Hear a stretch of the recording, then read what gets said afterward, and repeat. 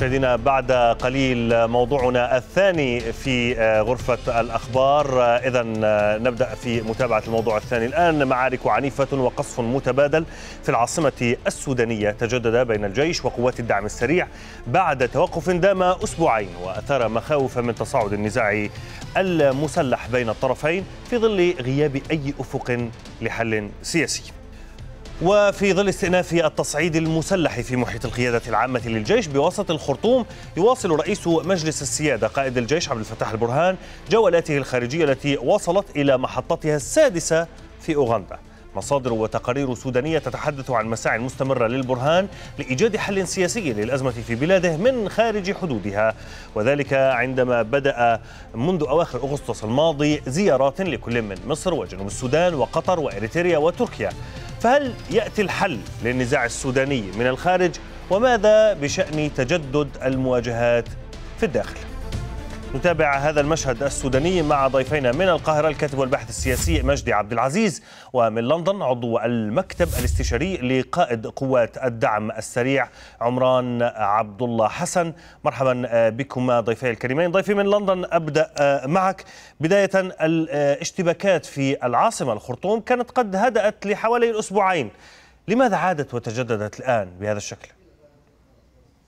طيب البدء السلام عليكم ورحمة الله. وعليكم السلام ورحمة الله. أهلا بك لك أستاذ صهيب ولضيفك ولكل مشاهدي قناة سكايب نيوز العربية. آه سيد الفاضل آه ما حدث اليوم آه هو نتاج طبيعي للاستفزازات التي ظلت تمارسها آه طلول النظام السابق وهذه الاستفزازات بدأت حتى قبل نشوب الحرب. بدأت بالاغتيالات التي آه تتم بطريقة انتقائية ممنهجة لأفراد قوات الدعم السريع وظل القائد الأعلى لقوات الدعم السريع يعني يحذر جيشه من أن لا لا يبادلوا هذا العداء بعداء مثله. وكانت له كلمة شهيرة حتى قال لهم إذا إذا يعتدى عليك أحد من أفراد الجيش في خدك الأيمن فدر له الخد الأيسر. لأن الجيش والدعم السريع شيء واحد. لكن فلول النظام السابق رفضوا إلا أن يشعلوا هذه المعركة. وظل الحال كما هو حتى بعد نشوب الحرب التزم قوات الدعم السريع بحقهم الأدبي في الدفاع عن النفس. لكن لكن هؤلاء يبدو أنهم لم يتعلموا الدرس ولم يعوا أن أن الحكمة التي انتهجها قائد قوات الدعم السريع هي الغرض منها مصلحة البلد وعدم عدم يعني الزج بها في في أتون الحروب والاقتتال الدائر. فالآن بعد خروج البرهان وهروبه إلى إلى إلى بور السودان يعني بدأوا حتى يضللون الشعب السوداني بأن قوات الدعم السريع قد انتهت. والآن يعني حشدوا أبناء الشعب السوداني يأتوا بهم ليزجوا بهم ليقتلوهم. نعم. وكما شاهدت قبل يومين نعم. قبل يومين ولكن أستاذ عمران أفهم من كلامك أفهم من كلامك أن عودة الاشتباكات في الخرطوم لها علاقة بجولات البرهان الخارجية بمعنى هي رسالة منكم من الدعم السريع بأن الدعم السريع ترفض أي حل من الخارج ولذلك عادت واستأنفت الهجمات بعد حوالي أسبوعين من الهدوء في الخرطوم؟ ليس هذا هو السبب بل هو الاستفزازات المستمرة الاستفزازات المستمرة من من من من الجيش وضرب المدنيين العزل في مختلف مناطق السودان في نيالا في الخرطوم قتل للابرياء بغير مبرر طيب. وزر الرماد في العيون. فالآن قد قد يعني طفح الكيل وبلغ السيل الزبا. فالآن يعني قد نفذ الصبر والآن هم يطلبون من يقولون أنهم اللي يطلب من البرهان أن يطلق اللجام. الآن السيد محمد طيب. حمدان دقلو قد طلق اللجام لجيش اللي فقط ليوم واحد الآن قد أربك الحسابات تماما. اليوم ال ال ال القيادة العامة الذي ظنوا ظنوا أنها ستمنعهم هذه الحصون قد أصبحت في قبضة قوات الدعم السريع. الآن قد فروا هاربين. وجدوا القيادة مليئة بعدد كبير جدا من من من من, من الإرهابيين من من كتائب البراء من من فلول النظام السابق من كتائب نعم. الظل. تم اسر الأعداد الكبيرة طيب. منهم وفر عدد كبير أيضا وما زالت مطاردتهم يعني يلاحقونهم قوات الدعم السريع من مكان لآخر نعم. طيب وصلت الفكرة دكتور مجدي عبد العزيز في القاهرة. هل يعني الاشتباكات في محيط القيادة العامة للقوات المسلحة في العاصمة الخرطوم كانت قد هدأت لحوالي أسبوعين وها هي تتجدد, تتجدد مرة أخرى. هل لهذا علاقة بالزيارة السادسة بالجو بزيارة البرهان لدولة سادسة بعد الجولات الخارجية التي يقوم بها يا ترى؟ مساء الخير صهيب. التحية لك والتحية للمشاهدين. صهيب الميليشيا المتمردة الآن حولها ضغوط كثيفة. هذه الإدانات الدولية ارتكابها لجرائم الحرب ارتكابها لجريمة الإبادة الجماعية. هذه العقوبات التي فرضت عليها من الولايات المتحدة الأمريكية. وصفها الآن بجماعة إرهابية متمردة. وبالمناسبة مفردة التمرد هذه مفردة قانونية وليست مفردة سياسية. لذلك يأتي رعاة هذه هذه المجموعة الإرهابية ومستشاروها من الخارج يأمرونهم الآن بهذه العمليات الانتحارية. هي معارك اليأس وسبحان الله يعني كلما جاءوا إلى معركة من هذه المعارك الانتحارية تكون النتيجة سحق مثل الذي حدث اليوم. أنا أستغرب يعني ربما يعني ميليشيا الدعم السريع ومستشاريهم أحد أسلحتهم الآن أصبحت كذب. وأصبح التضليل حتى إن مثل هذه الاستضافات أصبحت يعني ليست لتوسيع الأفق لكنها نعم. أصبحت يعني تضيق ولا نعم. بالكذب وبالنفي ولكن الذي جرى نعم. الآن هناك نعم. تحولات كثيره دولية نحن نحن نستمع من كل الأطراف من من كلا الطرفين حتى حتى حتى نتناقش ونسمع من رواية كل طرف طيب أنت تعتبر أن تجدد الاشتباكات هو معركة اليأس ولكن ضيفي عن قوات الدعم السريع كان ذكر بأن أصلا البرهان يعني هو هرب إلى بورت سودان وبمعنى أنه الحل لا يأتي من الخارج كيف تعلق كذلك على هذه النقطة؟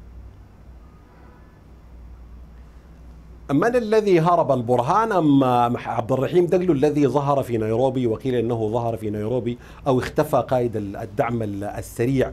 البرهان الآن يقوم بأعمال منظمة وأعمال مرتبة لترتيب البيت الداخلي وللتواصل مع العالم في مجالات كثيرة خاصة منها مسائل إعادة إعمار السودان ومسائل إعادة الاستقرار. الميليشيا المتمردة الآن هذه المعارك أيضا كشفت أن بنيتها الآن أصبحت هشة. هذه المجموعات التي تقاتل ليست هي مجموعات النخب التي كانت تقاتل والتي قسمت آه ظهرها وفقدت معسكراتها. يا أخي بالأمس سلم الجيش مجموعة من الأطفال هذه مجموعة أولى للصليب الأحمر. هذه هي المجموعات التي يجمعونها الآن. وحينما نعم. نتحدث عن المرتزقة لا نتحدث عن أن الميليشيا ليسوا سودانيين لكن كانت هناك شواهد من قبل. رأينا مثلا قائد المعارضة التشادي حسين تشوشو الآن يأتون بالمرتزقة ويأتون بالأطفال. وجدنا حتى الآن مواطنين حتى من جنوب السودان يشاركون في مثل هذه المعارك. هذه هي معارك اليأس وهذا طيب. هو النطح على طريقة العنزة للحائط. طيب ضيفي من لندن أكيد استمعت لما نعم قاله الأستاذ يعني مجدي. نعم. هو يصف يعني تجدد الاشتباكات في الخرطوم بأنه معركة اليأس وبأن هذا التمرد يعني ضاق كما وصفه بالتمرد يعني ضاقت به السبل حتى يعني فيما يتعلق بالعقوبات الأمريكية كذلك. ما ردكم؟ سيدي الفاضل هؤلاء اعلامي النظام السابق هؤلاء حتى هم لا يصدقون أنفسهم ولا يصدقون ما يقولون. الآن وأنا أشاهد شاشتك والقياده العامة تحترق وكل المش... المواطنين يشاهدونها وأنتم تشاهدونها. لماذا الكذب على وضح النهار يعني؟ ويقول أنها معركة انتحارية واستشهد و... و... بأن هنالك هزائم. كيف أنكم تنتصرون والآن القيادة العامة تحترق؟ أين المدرعات؟ أين الشجرة؟ أين كل المواقع التي تم يعني استلامها من قوات الدعم السريع من قبل قوات الدعم السريع؟ سيد الفاضل الحقيقة المرة الذي يرفضها هؤلاء فلول النظام السابق وأبواغهم من الذين يتاجرون بدماء الشعب السوداني ونحن صادقون مع شعبنا السوداني أن هؤلاء يريدون أن يلقوا بأبناء الشعب السوداني في التهلكة. في البداية كانوا يقولون عن عبد الرحيم دقلوا قد مات وأحمد قد مات. الآن عندما رأوا عبد الرحيم يتحدث لهم من الشاشات قالوا يقولون أنه هرب. سيدي الفاضل الآن المعركه اتحسمت تماما في الخرطوم. نعم. الخاسر هو أبناء الشعب السوداني. الذين يموتون هم أبناء الشعب السوداني. الجيش لا حول له ولا قوة. الآن أصبح يستهدف المواطن البسيط. لا يستطيع حتى بطيرانه أن يضرب قوات الدعم السريع. الطيران أثبت فشله ولا يحس لا يستطيع أن يهزم الحرب. الحرب تهزم في الميدان. هم لا يأتون. هم في الخارج ويفضلون للحرب. الجيش الشرفاء الجيش انسحبوا منهم. يأتوا بالمقرر بهم من أبناء الفقراء والمساكين الذين يدفعون لهم الأموال ويأتوا بهم ليزجوا بهم ليموتوا يعني كالضان. الآن معظمهم فهم هذا وبعدوا تماما من المعركة. لكن هؤلاء لم لم لم يعني لم لم يفهموا نعم. الدرس حتى الآن. أنا لا أدري إلى متى طيب. إلى متى يعني يغررون ويضللون الشعب السوداني والشعب السوداني يموت والخرطوم تحترق طيب. والسودان يحترق. وصلت وصلت الفكرة وصلت الفكرة. طيب رساله أخيرة فقط لو سمحت لي تفضل تفضل. رسالتنا لأ- لأ- لأحبابنا وأهلنا في شرق السودان. نحن السيد القائد محمد حمدان دقلو يستخدم الحكمة ولم يشأ للخرطوم أن تكون بمثل هذا الحال لكن هؤلاء قد أجبرونا لأن تصل هذا الخرطوم لهذا لهذا. الحال وهم الآن لجأوا إلى شرق السودان وبدأوا أن يأسسوها عاصمة للحرب وشرق السودان ليست بعيدة، بور السودان ليست بعيدة. في تناول الدعم السريع يمكن أن يصلوها في يوم واحد وتصبح اسوء من الخرطوم، نحن طيب. طيب. رسالتنا لأبنائنا في شرق السودان أن يدحروا فلول النظام السابق، هؤلاء هؤلاء المؤتمر الوطني هم يتاجرون بدماء الشعب السوداني، الآن أصبحوا يتخذون منهم يعني شلتة أو أو دروع بشرية من أبناء الشرق وص- وصل وصلت الفكرة وصلت. الفكرة رسالتنا لهم نعم. أن يطردوهم خارج شرق السودان حتى لا تصبح بور نعم. السودان الخرطوم الثانية. طيب بغض النظر عن يعني آه، اختلاف الروايتين آه، بينكما ولكن أستاذ مجدي هل يعني آه، الحل يأتي من الخارج يعني زيارات الفريق البرهان إلى الخارج تأتي في ضوء أنه لا نريد أن نقول أنه يعني مهزوم أمام الدعم السريع أو الجيش إنه انهزم ولكن ليس هناك تقدم لأي طرف. يعني لا لا ليس هناك أي طرف من الطرفين يستطيع الحسم لا الجيش ولا الدعم السريع حتى نكون متوازنين يعني. فبالتالي هل البرهان يبحث عن حل يأتي من الخارج؟ وهل يمكن أن يأتي الحل من الخارج؟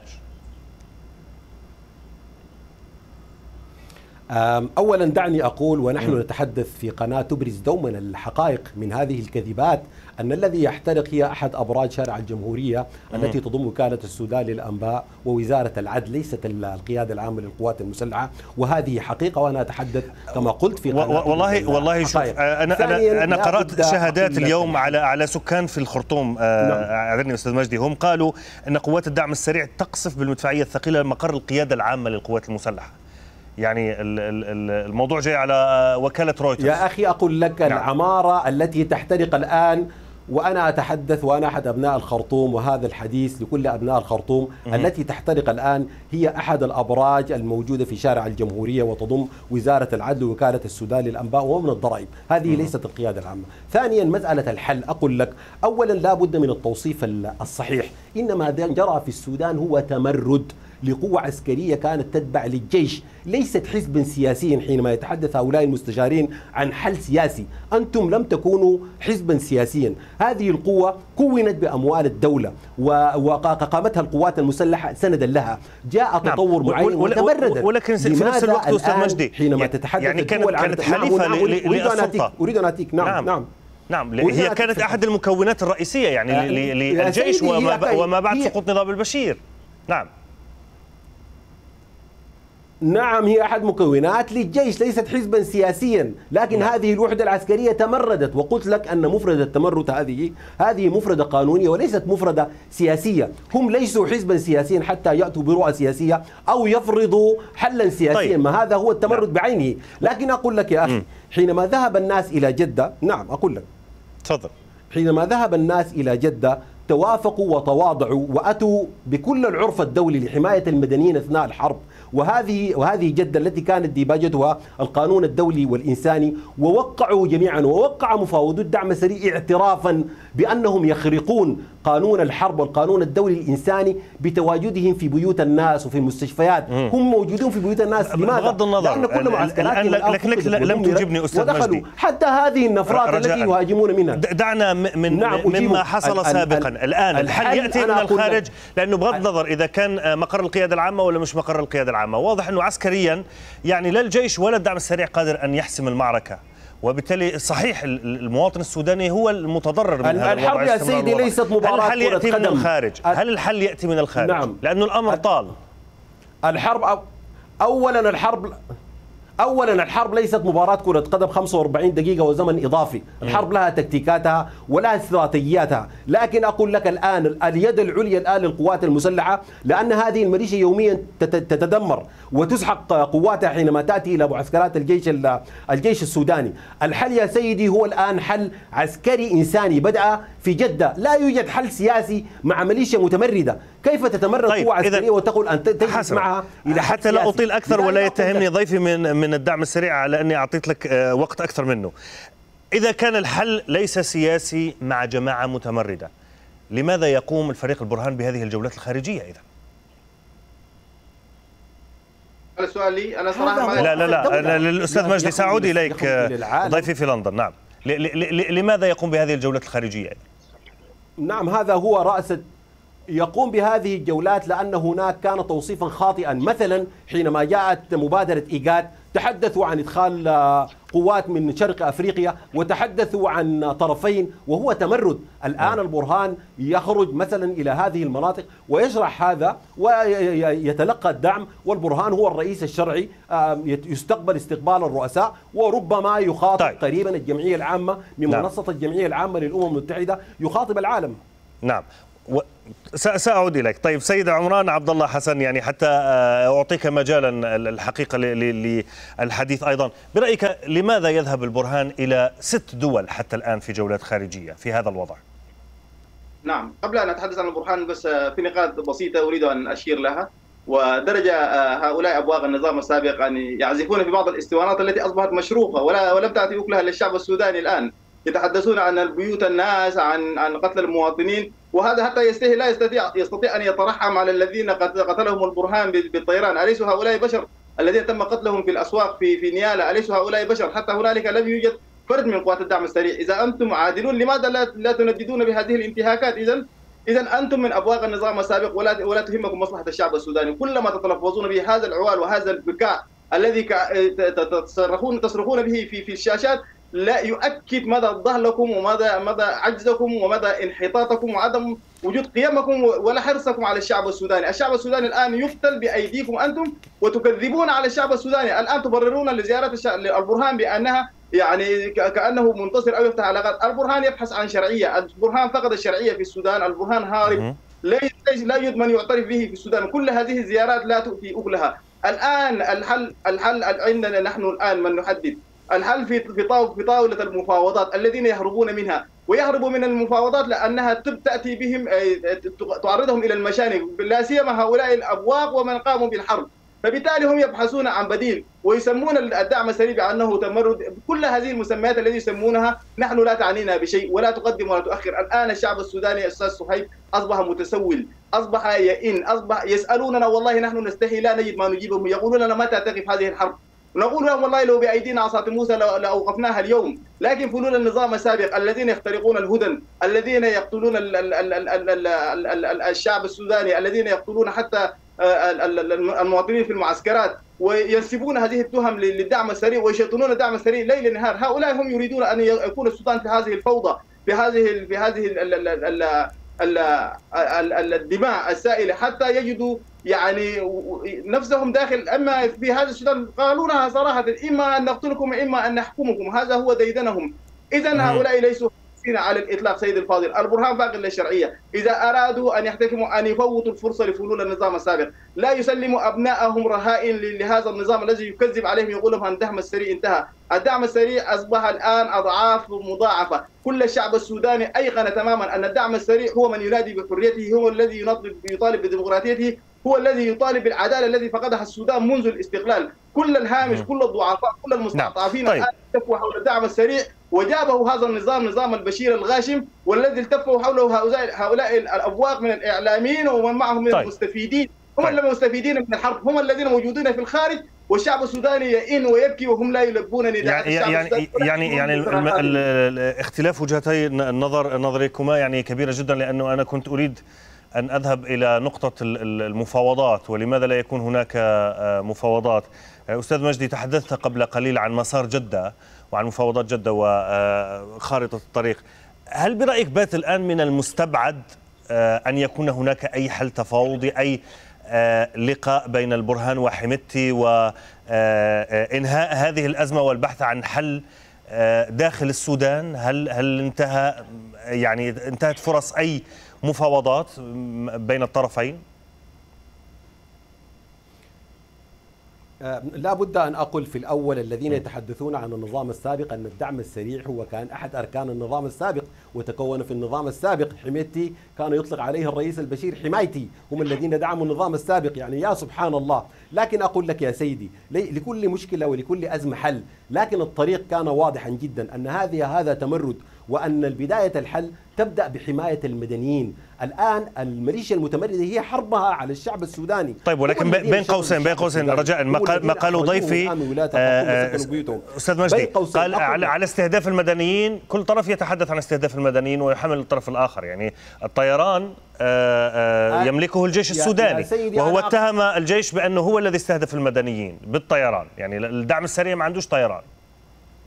طيب حتى حتى لا حتى نعم نعم. حتى لا تكون اتهامات متبادلة. م. من الذي الآن أدين من منظمة هيومن رايتس ووتش والأمم المتحدة؟ من الذي أدين بجريمة الإبادة الجماعية وقتل والي غرب دارفور خميس آدم بكر؟ من الذي الآن أسقطت عليه العقوبات الأمريكية؟ حتى لا يكون الكلام أنا أقول كلام وهو يقول كلام. هذه حقائق وهذه منظمات دولية. من الذي كان يجند الأطفال واستلمتهم بالأمس الصليب الصليب الأحمر.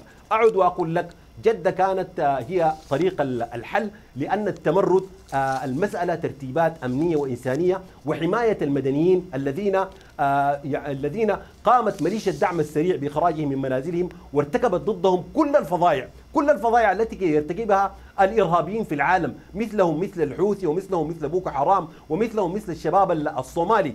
كيف للعالم الآن أن يتعامل مع ميليشيا الآن توصف بأنها جماعة إرهابية؟ هل هذا ضوء أخضر لأن تتعامل الدول والمنظمات الدولية مع الجماعات الإرهابية في هذه المنطقة؟ الحل واضح جدا يا سيدي هي ترتيبات أمنية وترتيبات إنسانية بدأت في جدة وبدأت باعترافهم إما أن ينفذوا هذا وإما هم هم الذين يواجهون الآن الجيش ويهاجمون المعسكرات طيب. وكل طيب. يوم يفقدون والآن العالم نعم. وكل نعم. الآن السياسات وكل المواقف الآن الدولية أصبحت ضدهم لذلك مستشاروهم وظهيرهم السياسي بالخارج يوجهونهم لمثل هذه العمليات الانتحارية وهذا النطح الذي قلت به نعم أستاذ عمران متى يدخل الدعم السريع في مفاوضات مع مع مع الجيش؟ أو يمكن الذهاب إلى مفاوضات؟ لأنه أو الانخراط في مسار تفاوضي مع الجيش السوداني.